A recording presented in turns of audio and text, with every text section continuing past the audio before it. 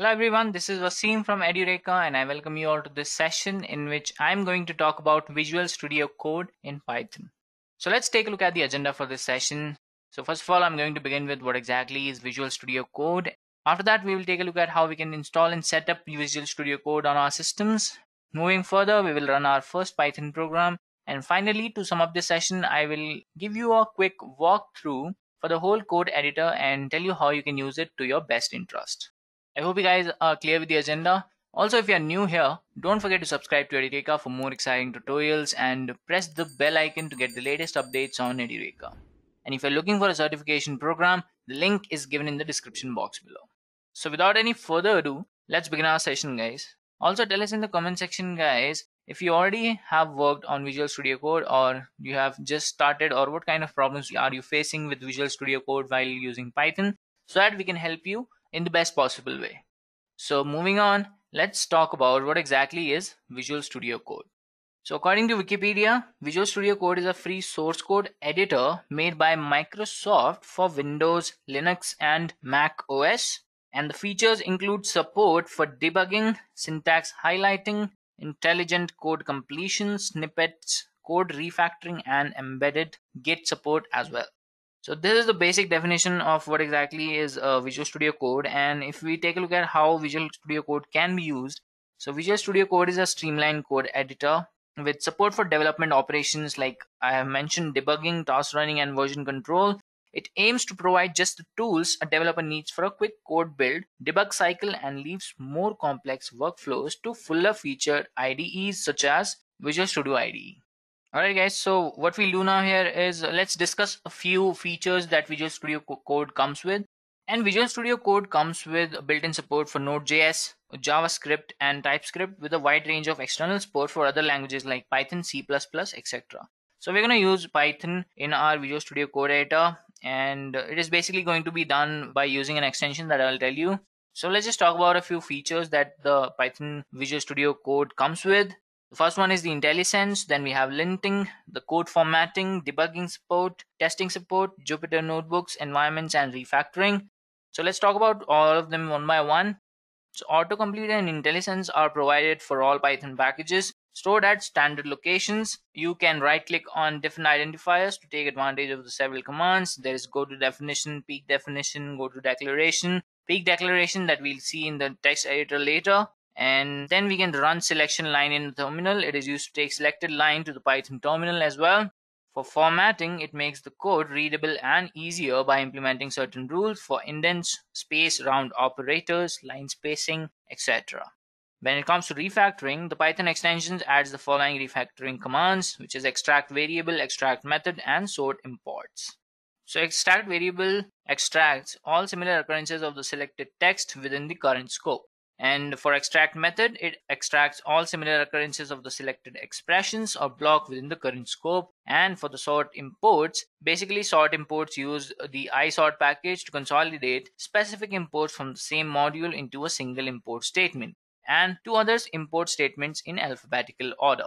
So this is all about the features that Python Visual Studio comes with and we'll see about them, how we can work with these features later on in the session when I'll give you the walkthrough.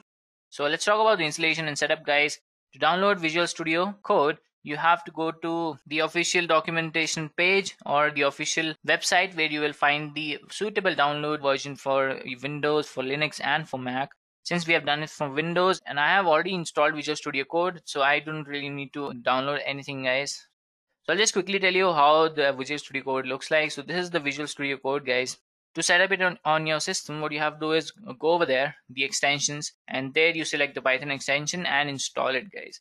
You can see what are the details over here. So they have told you how you can set up the environment how you can run your first program as well.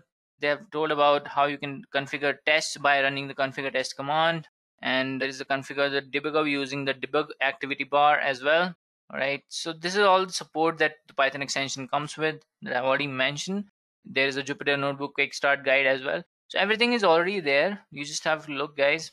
So I'll just quickly tell you how you can create a simple hello world program in uh, Visual Studio Code. So I'll just close this extension bar. Alright, so you have to create a workspace guys, which is nothing but a workspace folder guys. So after you create it, you have to create a file over there. with a .py extension. So let's just create a new file. We'll call it as sample.py. So this is my sample.py and I will print hello world because since we have this rite of passage for every file that we have right? So syntax error is there invalid syntax showing. Let's see what, what we have done wrong.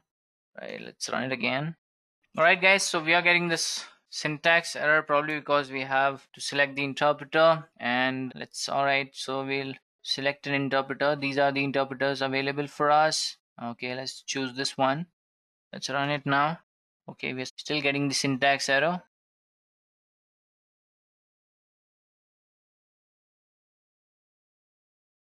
Okay let's run this now. Right so we are getting the output now here guys. So we were getting that error because probably we did not really select the interpreter that was required over there and that is why we're getting the wrong output so now that we have established how we can use Visual Studio Code for you know writing a simple Python programming code. So first of all, what you have to do is choose an interpreter after installing the Python extension, which we had forgot. That's why we're getting the error. After that, you create a workspace, which is basically nothing but the folder that we have created over here, this hello folder.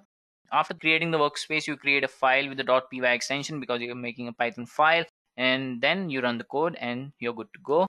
That's how you run a program in Python, guys right? So I'll just write. So this has become a Jupyter notebook and after this I can just open the Python interactive shell. So this is how I can use the Python interactive shell also guys. Now you can see I've written hello world over here and this is the word. And if I type any code here I'm going to see the output over here.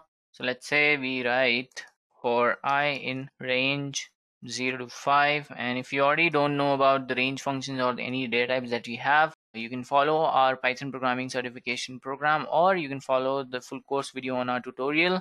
And after this we'll just print let's say Edureka and you can see the output over here. So I'm just typing the code over here in the Python interactive shell and I'm getting the output over here. So this is how you can you know start the Python interactive shell by writing hash percentile percentile and you're good to go guys so this is how easy it is to work with Visual Studio Code and that is why most of the developers are switching on to Visual Studio Code because it gets very easy while working on the Visual Studio Code for Python and we have the interaction. So there is debugging and linting support as well.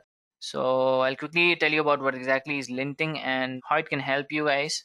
Linting basically highlights the syntactic and styling problems in the Python source code guys. Since we have this high level program, it won't be much to discuss over here because it's only one line of code. But to enable linters, we can use the following approach, in which although the Python extension comes enabled with the pylint linter as a default, but what we can do is we can open the command palette, which is Control Shift P. And after that, you see all these commands over here, which is Python select interpreter, Python create new blank Jupyter notebook, Python select linter, Python run linting. So I'll select the linter first of all. Let's see what all options do I have. I have Bandit, Flake8, MyPy, Prospector, pycodestyle, PyDoc style, PyLama, and PyLint. So what you can do here is select any of these that you want as your linter. And even though the linting runs automatically, even you just save your file. This is just an example how you can, you know, just use any of these. So if you choose this and then run linting. All right, so let's close this. Yeah, so we go to command palette. We select the linter. Current is pylint. All right now how do we run linting? So let's run this. We're getting the output right? So we're getting the output. So how did how do we run the linting part over here right? So we open the command palette now again and we do the run linting part over here. And that's how you run the linting guys. Alright guys so I'm going to discuss the debugging support now and uh, it's quite important. The Python Visual Studio Code comes with a debugging support which works in our simple hello world program as well okay I'll just show you guys. Click over here. You see this breakpoint? Click on it. Press F5 it'll open the right so now what we have to do here is uh, okay so this is our and we run this. Now we are running the current file. Alright guys, so this is how we can run our debugging for any file. And this is a very simple example just because uh, we have used the print hello world over here and we run the F5 key again to run the program and to select the configuration also it will open up the debug toolbar what we have to do here is control shift P and we search for the debug Alright guys, so I had already selected the Python file as the current configuration. So that's why I was able to uh, run the debugging support over here for the Python print statement over here where we have just printed the hello world program. So we have so far learned about how we can work with the Python interactive shell and how we can work with the debugging support and the linting support. And we have seen how we can uh, work with the Jupyter notebook. So now what I'm going to show here is how you can work, you know, practically because since we, this is just a hello world program, so I'm just going to show you you know after importing certain libraries into our program and after that how we can you know basically run our program so for that what we'll do is let's say import pandas as pd right so for this we will have to select right one second guys. I think this would run. Right so now we'll make a data frame using pandas data frame.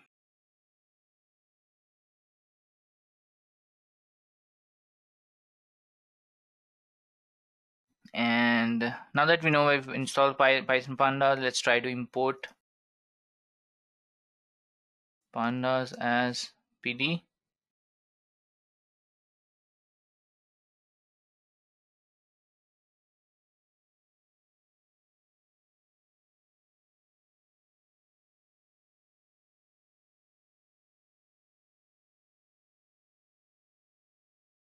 so this is how we can import panda in our function over here so now what we can do here is create a pandas data frame.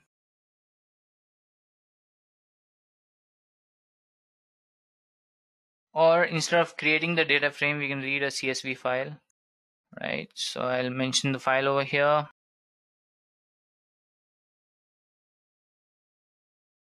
All right so we have an error here. So let's write r and this is good to go so what we'll do here now let's open the interactive cell guys.